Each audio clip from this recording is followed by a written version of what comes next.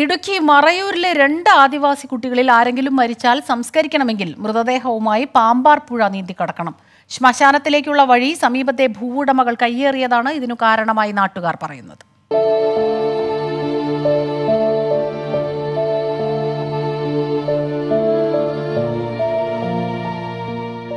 മറയൂർ നാച്ചിവയലിലെ പട്ടികവർഗക്കാരനായ കാളി നാഗന്റെ മൃതദേഹമാണ് ഇങ്ങനെ നദിയിലൂടെ ചുമന്നുകൊണ്ടുപോകുന്നത്. കഴിഞ്ഞ കുറച്ചു നാളായി നാച്ചുവയൽ ചെറുവാട് എന്നീ ആദിവാസി കുടികളിലുള്ളവർ അനുഭവിക്കുന്ന ദുരവസ്ഥയാണിത്. ഈ ഗോത്ര കോളനികളുടെ ശ്മശാനം പാമ്പാറിന്റെ തീരത്താണ്. ആറ്റുപുറമ്പോക്കിലൂടെ ശ്മശാനത്തിലേക്ക് അഞ്ചടി വീതിയിൽ വഴിയുണ്ടായിരുന്നു. സമീപത്ത് സ്ഥലമുള്ളവർ ഈ വഴി കയ്യേറി കൃഷിയിടമാക്കി വേലിയും കെട്ടി. ഇതോടെ ആകെയുണ്ടായിരുന്ന നടപ്പാതയും ഇല്ലാതായതോടെയാണ് മൃതദേഹവുമായി ആറ് നീന്തിക്കിടക്കേണ്ട അവസ്ഥയിൽ ഇവരെത്തിയത്. ഒരു നടവഴി മാത്രം.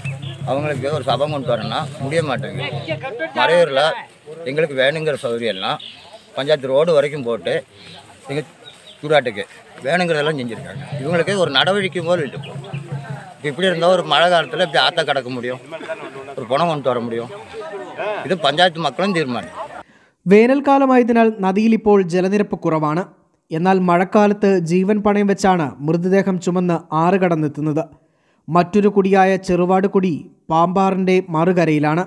ഇവിടെ നിന്നും പുഴ കടക്കാൻ പാലമില്ലാത്തതിനാൽ മൃതദേഹം ചുമന്ന് അക്കരെ എത്തിക്കണം.